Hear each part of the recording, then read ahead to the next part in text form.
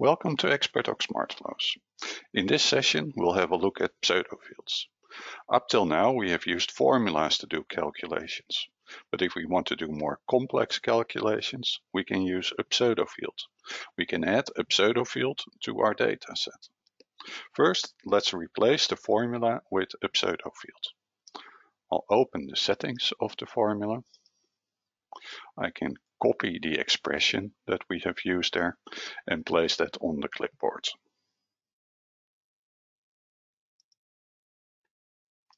Then think for a minute where you want to place your pseudo field on your dataset. If you want to calculate totals and discounts and the like, the best place would be the quote itself.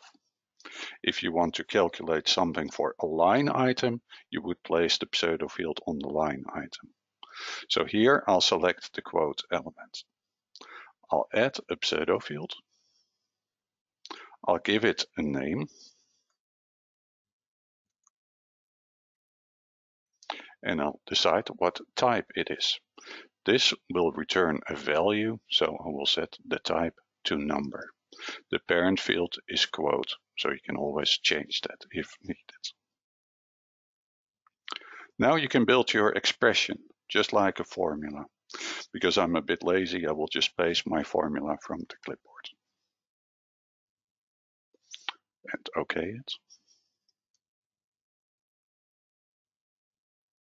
Now we have in our dataset an extra field, a pseudo field. It's got a blue icon, you can notice that, and the grand total field can now be used to map in your template.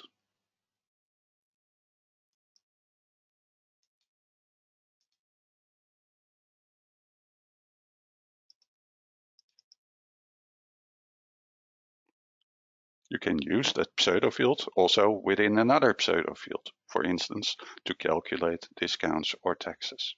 And don't forget to format it too, because it's just like any other number or currency field that needs to be formatted.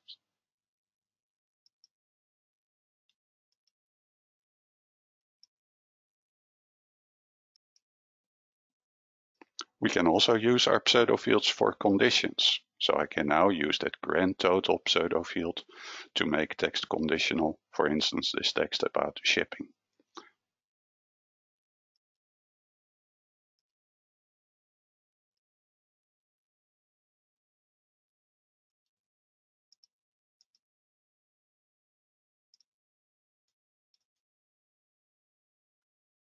I'll set the condition to only show this text if the grand total is less than 10,000. Alternatively, I set the alter the other sentence for grand totals that are over 10,000.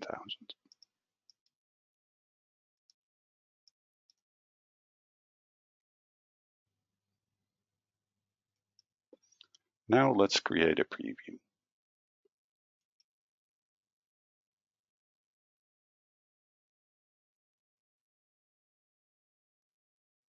That's looking good. You can also use a pseudo field to count items in a result set. So let's create a new pseudo field.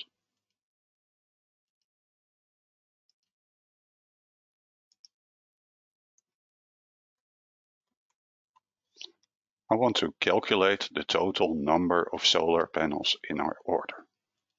That is a number I'll use the sum function. And from our result set, I'll pick the quantity field.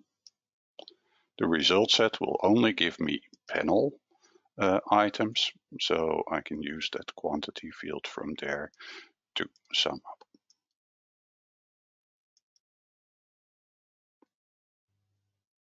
See, it's get added to my data set and I can now use that within my template.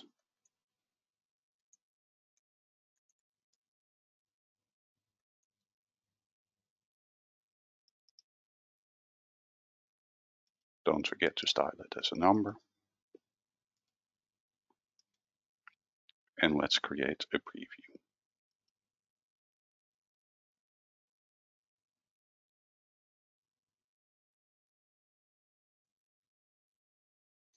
And I have 12 panels, 4 plus 8. Another use of pseudo fields would to store would be to store frequently used values like telephone numbers or string text together like first names and last names.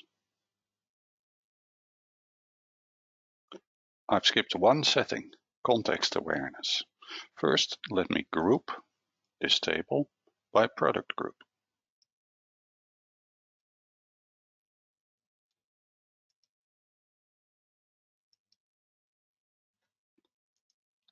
Product group description as a header.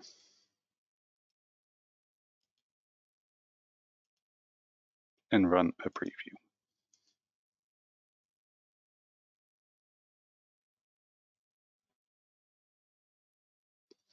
As you can see, I now have three tables for each product group, uh, one table, but the grand total is still calculated over all the line items together.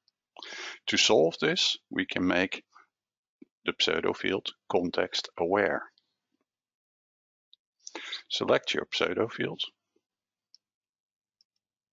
Click the pencil. With the pencil, you can always edit your pseudo fields and turn on context awareness.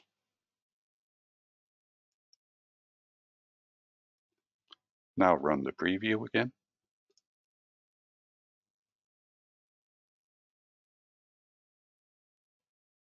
And now it neatly calculates the grand total per table. Before I go, you have to remember that pseudo fields are stored on the template itself. So if you want to use them in another template, you have to create them again for that template.